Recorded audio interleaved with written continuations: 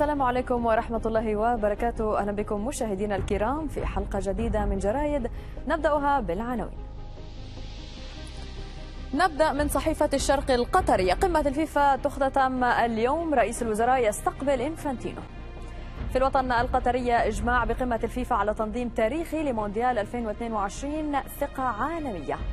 من الراية القطرية أحمد أحمد يؤكد السوبر الأفريقي في الدوحة لأول مرة. نتابع من صحيفة استاد الدوحة انقلاب في الصدارة يشعل فتيل المنافسة على اللقب.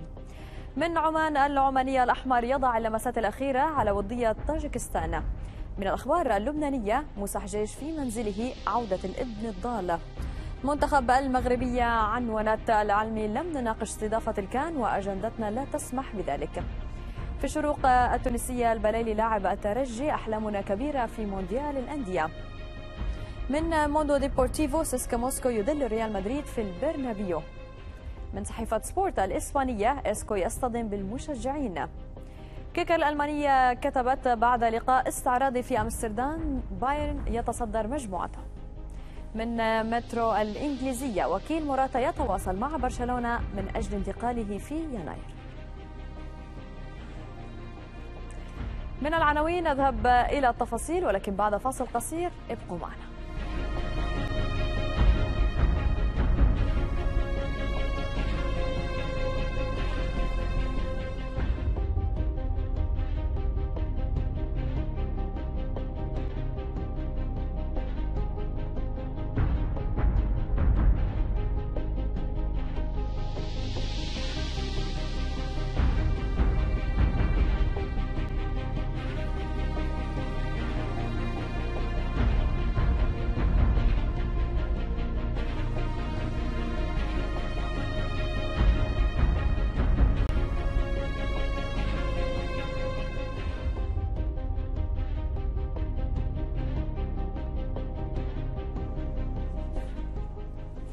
أهلا بكم مشاهدينا من جديد جولتنا على الصحافة القطرية. نبدأها اليوم من غلاف الملحق الرياضي لصحيفة العرب ونقرأ. صاحب السمو يترأس اجتماع مجلس إدارة الإرث. من الصفحة ذاتها نقرأ رئيس مجلس الوزراء يستقبل إنفانتينو.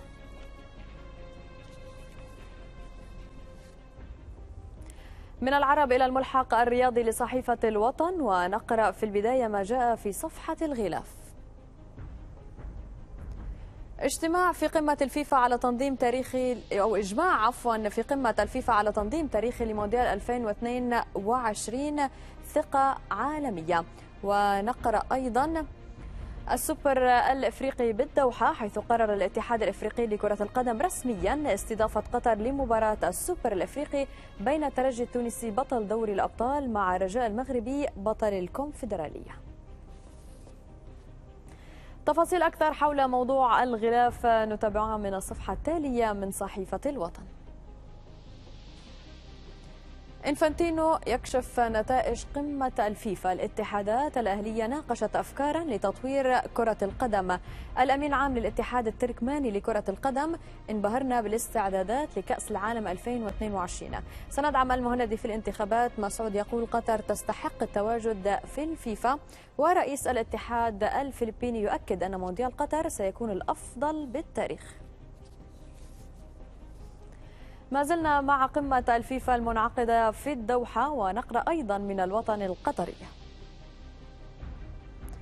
قدم شرحا حول سير العمل في مشاريع كأس العالم الخاطر. القمة فرصة للتعرف على آخر استعداداتنا. رددنا على المشككين بجهودنا وعملنا. 2020 سيشهد انتهاء أعمال استضافتنا لكأس العالم. نعمل حسب الخطط ونتشاور مع الفيفا. من نفس الصفحة أيضا نقرأ أحمد أحمد رئيس الكاف يقول قطر ستنظم نسخة رائعة من المونديال. الحديث عن الاستعدادات ل 2022 أمر مفروغ منه. آخر الصفحات معنا من الوطن نتابع فيها حوارا مع أحد لاعبي الغرافة. يوسف مفتاح لاعب الغرافة في حوار الصراحة والوضوح. ما عندنا احتراف. القانون غير مطبق ورابطة اللاعبين القطريين لم تتحرك. دورينا في النازل والتقييم غير منصف واللاعبون من الدوام إلى التدريب. مفتاح قال أيضا بعض المحترفين دون المستوى ويهدرون المال العام. خسارتنا أمام السد بالثمانية سجلها التاريخ وتطاردنا حتى في البيوت. نغلق الوطن ونفتح الملحق الرياضي للراية القطرية ونقرأ من صفحة الغلاف. الاجتماعات ناقشت أهم القضايا الكروية وإنفانتينو يكشف نتائجها وقراراتها في مؤتمر صحفي الدوحة تثري قمة الفيفا. نتصفح الملحق الرياضي للراية ونقرأ أيضاً. بعد التعاقد مع المدرب الايسلندي وتسمية جهاز الكرة تفاؤل كبير بتعيينات العربي الجديدة. رئيس النادي يطلب الدعم أو دعم الجماهير وإبراهيم خلفان يشيد بالخطوة. آخر الصفحات معنا من الراية نتابع ما جاء فيها. جاسم البعينين امين عام اللجنة الأولمبية يؤكد بمناسبة اليوم الوطني المساهمة في رفعة الوطن واجب على الجميع. احتفالنا باليوم الوطني يعزز الولاء والتكاتف والوحدة والاعتزاز بالهوية. دعم وتوجيهات القيادة الحكيمة وراء الإنجازات التي حققها أبطالنا. قطر أصبحت في مصاف الدول المتقدمة وتتبوأ مكانة عالمية مرموقة. الأدعم سجل حضورا لافتا في ميادين المنافسات الإقليمية والدولية. جولتنا على الصحافة القطرية تتواصل والآن إلى صحيفة استاد الدوحة ونقرأ من الصفحة التالية. بعد فوز السد على تحيل بثلاثية في اللقاء المؤجل انقلاب في الصدارة يشعل فتيل المنافسة على اللقب صفحة أخرى من استاد الدوحة عن أرقام فريق تحيل التي توقفت بسبب خسارة السد. رقم أتحال القياسي يتوقف عند 41 دون دون خسارة في الدوري فقط. الفريق حقق 34 فوزا وتعادل في سبع لقاءات. آخر الصفحات معنا من استاد الدوحة نتابع منها مقالا حمل العنوان التالي. سحر العجوز. الدكتورة منيرة آل ثاني تحدثت في مقالها عن النقلة النوعية الكبيرة لفريق كرة القدم بالنادي الأهلي ومنافسته بقوة على تواجد بالمربع الذهبي لدور نجوم QNB وذلك تحت قيادة المدرب العجوز التشيكي ميلان ناتشالا أبرز ما تناولته الكاتبة نتابعه في السطور التالية. تواجد وذهب ليعود هذا الموسم من جديد مع الأخضر القطري لتعلو أصوات إقالته مع بداية الموسم لنجد البديل من هنا وهناك. التفكير في مدرب تركي أو قطري ليضرب الاتحاد بيد من حديد ويمنع تسجيل مدرب بديل. ليبقى هذا العجوز ليظهر خبرة السنين وسحر التدريب. يظهر من فانوس المارد ماتشالا.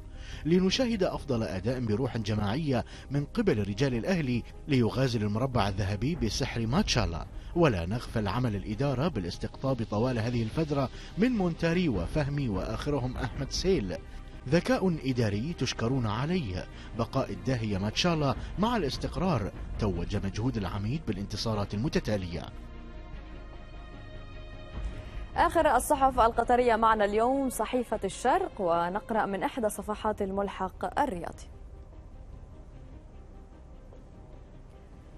جوائز قيمة للفائزين في مهرجان المؤسس للهجن ومن نفس الصفحة أيضا نقرأ الكونغرس الأسيوي للرياضة المدرسية يختتم اليوم. قطر عضوا بالمكتب التنفيذي للاتحاد القاري. علي الهتمي يقول تجربتنا الرائدة في البرنامج الأولمبي وراء الاختيار. وفي الصفحة التالية للشرق القطرية أيضا نقرأ. وزير الثقافة والرياضة يثمن الخطوة تدشين أكاديمية قطر للرياضات الميكانيكية. الهدف إبراز مواهب قطرية لمشاركتها مستقبلا في الموتو جي بي. صلاح بن غانم العلي يقول دور رائد لقطر في المجالات الرياضية. جولتنا على الصحافة القطرية انتهت ونتابع الآن قراءة باقي الصحف العربية والبداية من الكويت ونقرأ من صحيفة الرأي. كمال الشمري يطالب بالكشف عن المادة التي استند إليها أو استند إليها الاتحاد. الكرة يرفض احتجاجات التبديل الرابع ويعتمد نتائج تمهيد كأس ولي العهد استقالة ثلاثة من أعضاء لجنة المسابقات بعد قرار الاتحاد. نبقى في الكويت ولكن هذه المرة مع صحيفة الأنباء ونطالع من قبل المعهد الأمريكي للمهندسين المعماريين تكريم عالمي للتصميم الجديد لاستاد صباح السالم بالنادي العربي. حمود المبارك يقول المشروع يأتي تنفيذا لخطة تنمية الكويت وتحقيقها للرؤية الأميرية السامية. من الكويت نذهب إلى عمان ونفتح الملحق الرياضي لصحيفة عمان ونقرأ من صفحة الغلاف. قبل مغادرة الأحمر الجماهير مطالبة بمؤازرة شعاره سيفين وخنجر. نتصفح جريدة عمان ونقرأ تفاصيل أكثر عن عنوان الغلاف. بصفوف مكتملة العدد الأحمر يضع اللمسات الأخيرة على ودية طاجكستان اليوم. سعد سهيل طاجكستان تكشف الملامح. علي سالم هدفنا تخطي دور المجموعات وذلك في نهائيات كأس آسيا 2019 جولتنا العربية تتواصل ونصل الآن إلى المحطة العراقية ونقرأ من صحيفة المدى. عقود الملايين والاحتراف الخليجي قوضا أمل المونديال. زياد طارق لن تروا مثيلا للمنتخب الفدائي والقانون ظلم راضي وحسين. مشاجرة ولدي في الاتحاد وراء موته وغمزة بيروت ألقت بي في السجن. فوضى جمهور الدوري تناقض صموده تحت طلعات الأباتشي مستمرون في العراق ولكن هذه المرة مع صحيفة الملاعب ونقرأ فيها. المدير الفني للمنتخب الأولمبي عبد الغني شهد خمسة مغتربين فقط سيتواجدون في معسكر الدوحة تحديات التأهل باتت صعبة وسنواجه سوريا في البصرة. من العراق إلى سوريا ونقرأ من صحيفة الثورة. طموح كبير لنسور قاسيون في كأس آسيا. معسكر مغلق في دمشق في الخامس عشر من الشهر الحالي وإعلان التشكيلة النهائية في التاسع عشر من ديسمبر. ونتابع من الصفحة ذاتها مقالا حمل العنوان التالي عامل جذب. يمن الجاجة الكاتب في الصحيفة تحدث عن دور المحترفين السوري وكيفية الارتقاء به من الناحية التنظيمية والتسويقية للمنافسة القوية على صعيد القارة الآسيوية. مشكلة كرتنا لا تكمن فقط في عدم اتخاذ مسؤولي اتحاد اللعبة خطوات تترجم أقوالهم إلى أفعال ولكن في عدم انتباههم لوجود عامل جذب كبير بإمكانه أن يكون نقطة مؤثرة في مساعي استقطاب رعاة ومستثمرين وإحداث نقلة نوعية على شكل ومضمون منافسات الدوري والمتمثل بجماهيرية المسابقة. هذا الجمهور الذي نتحدث عنه يمثل عامل جذب ومؤثر وهو بكل صراحة ما يجعل مسابقة الدوري تحظى بتصنيف مقبول على المستوى القاري على اعتبار أن المستوى الفني متوسط إن لم يكن دون ذلك وعلى اعتبار أن مستوى الملاعب أيضا ليس بتلك الجودة التي تمنح مسابقاتنا المحلية ميزة إضافية بانتظار ما ستسفر عنه عملية تحديث عدد من ملاعبنا الكروية ضمن خطوات رفع الحظر عنها ليس بعيدا عن سوريا نذهب إلى لبنان ومن صحيفة الأخبار نطالع. موسى حجاج في منزله عودة الابن الضال. طريق المايسترو إلى النجمة تمر بالعهد والمستقبل. قبل حجاج اتصل أسقال بالمدرب السوري حسين عفش. عمل كبير ينتظر الكابتن موسى. درب النضال طويل طويل. يعاني النجمة من مشكلات عدة تتوزع على كافة خطوط الفريق. وبونياك يغادر برأس مرفوع راض عما قدمته.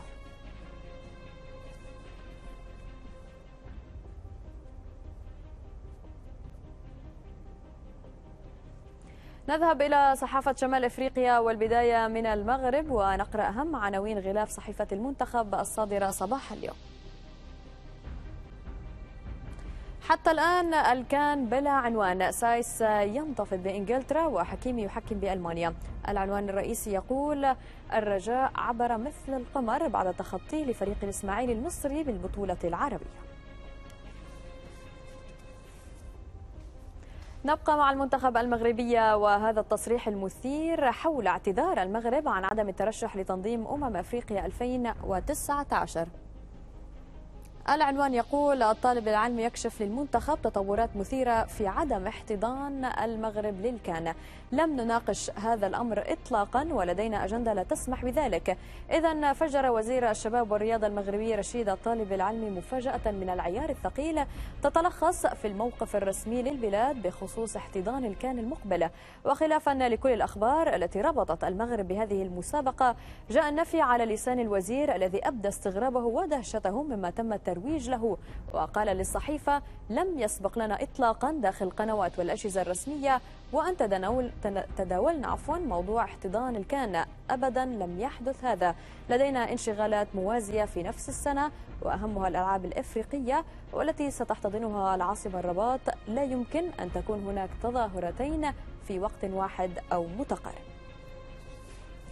دائما مع المنتخب المغربية ونتابع مقالا حمل العنوان التالي. استثمار الصحوة. بقلم المهدي الحداد الذي طالب باستثمار النجاحات الأخيرة للكرة المغربية سواء على صعيد الأندية أو المنتخب والمنافسة بقوة على لقب أمم أفريقيا 2019 أبرز ما قاله الكاتب نتابعه في السطور التالية.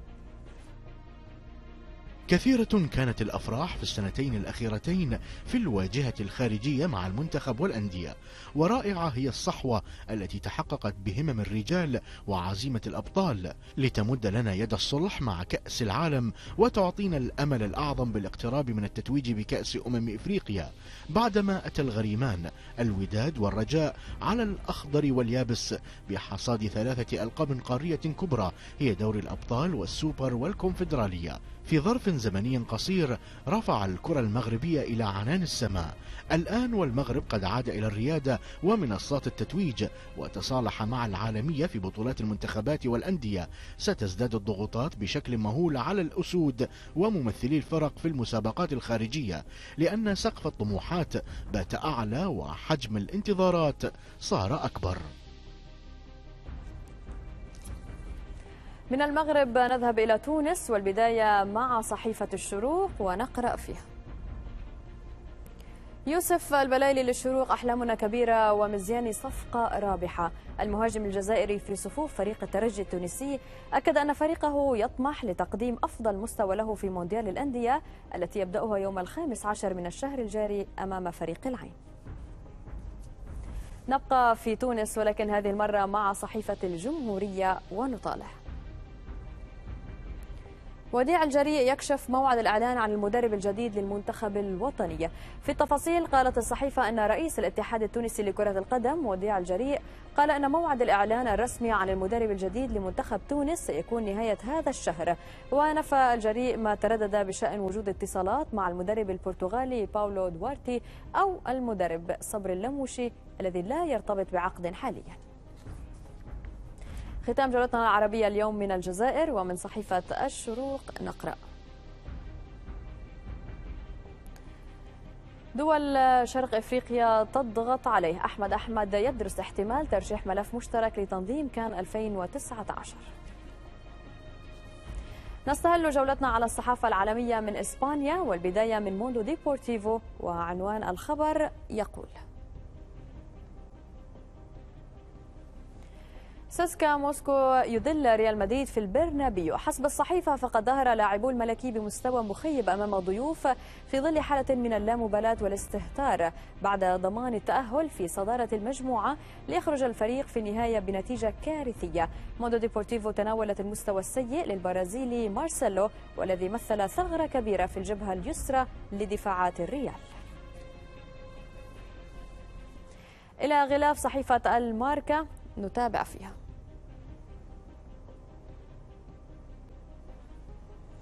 الصحيفة وضعت صورة كبيرة لإسكو مرفقة بعنوان ليلة للنسيان. تداعيات الخسارة القاسية للميرينغي واكبتها صحيفة سبورت من خلال العنوان التالي. إسكو يصطدم بالمشجعين. يبدو أن أيام إسكو في مدريد قد أصبحت معدودة. فالدولي الإسباني لم يتحمل صافرات الاستهجان التي أطلقها المشجعون عقب إهداره فرصة أمام المرمى ليقوم اللاعب برد فعل فوري يحمل الكثير من التهكم. متوجها للجماهير بالقول ماذا تريدون؟ ماذا تريدون؟ إلى خبر لافت نتابعه من صحيفة البايس الإسبانية ويقول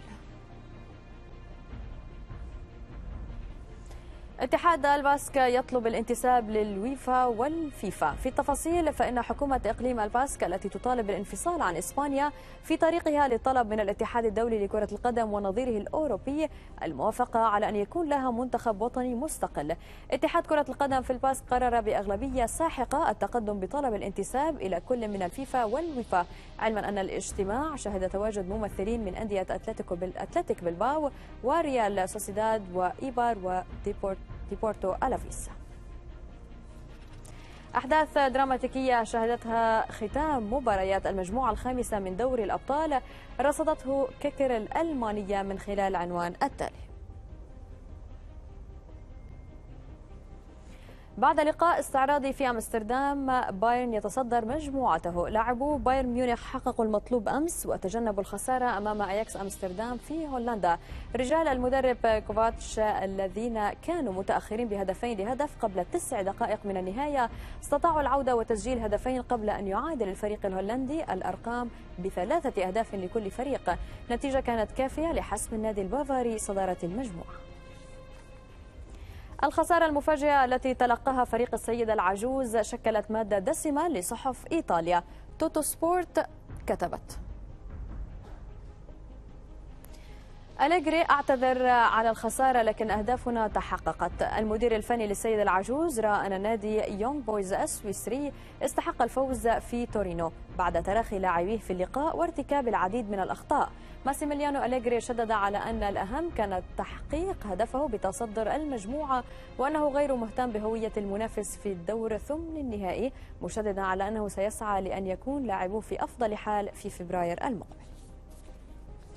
إلى إنجلترا وخيبة أمل جديدة لجوزي مورينيو. الخبر نرصده من صحيفة ذا جارديان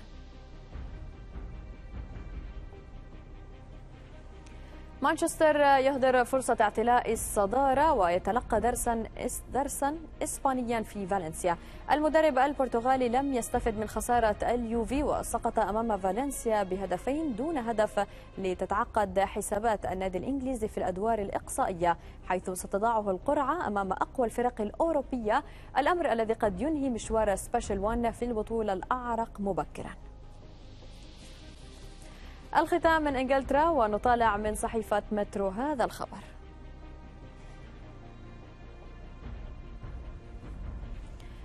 وكيل موراتا يتواصل مع برشلونة من أجل انتقاله في يناير. الصحيفة تحدثت عن محادثات أجراها وكيل ألفارو موراتا مع النادي الكتالوني تمهيدا لرحيل مرتقب عن لندن في الميركاتو الشتوي. مترو كشفت أن إدارة البارسا تبحث عن بديل جديد للويس سواريز الذي يعاني إصابة مزمنة في الركبة وأنها قد تجد ضالتها في موراتو موراتا الذي أصبح خارج حسابات ماوريتسيو ساري مدرب تشيلسي. إلى هنا مشاهدينا وصلنا لختام حلقة اليوم من جرايد ملتقانا يتجدد غدا في حلقة جديدة بإذن الله. شكرا لحسن المتابعة وإلى اللقاء.